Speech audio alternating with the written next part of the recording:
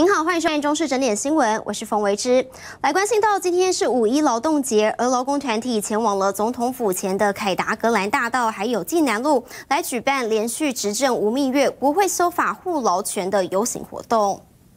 国会修法挺劳权，国会修法挺劳权，连续执政无蜜月，连续执政无蜜月。这个民进党它是一个连续的执政，所以我们。就跟民进党讲，他执政没有蜜月期，哦，我们就他必须要延续他之前的一些的政策，必须做下去，哦。啊，在这里呢，我必须要先声明一下，哦，呃，我们中指挥跟中联队，哈，我们在这里呼吁，哦，呃，五月一号是劳工的日子，啊，全国应该放假一天，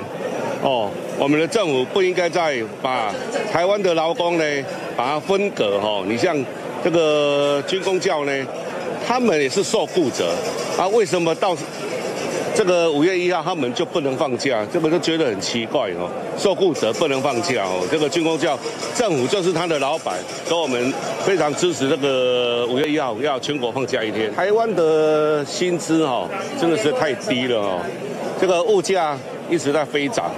啊，只有薪水都没有涨，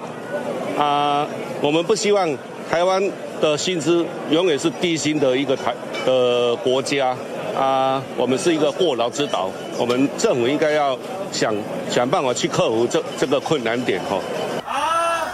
劳工团体这一次总共号召大约四千人，在今天站上凯道，为自己的权益来发声，并且要求新政府要延续过去的劳工政策，更希望去年底总统大选时，当时三位候选人所允诺将基本工资调高到三万元可以成真。劳动者。